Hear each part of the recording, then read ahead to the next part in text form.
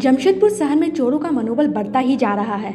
अब चोर अपार्टमेंट को भी अपना निशाना बनाने लगे हैं। सोनारी थाना क्षेत्र अंतर्गत शिव गंगा अपार्टमेंट में चोरों ने रितेश अग्रवाल के घर में चोरी का प्रयास किया है, लेकिन चोर अपने मकसद में कामयाब नहीं हो सका। हालाँकि चोर अपार्टमेंट के उस घर का ताला काट दिए थे, मगर किसी के आने की आहत से सभी चोर भाग खड़े हुए।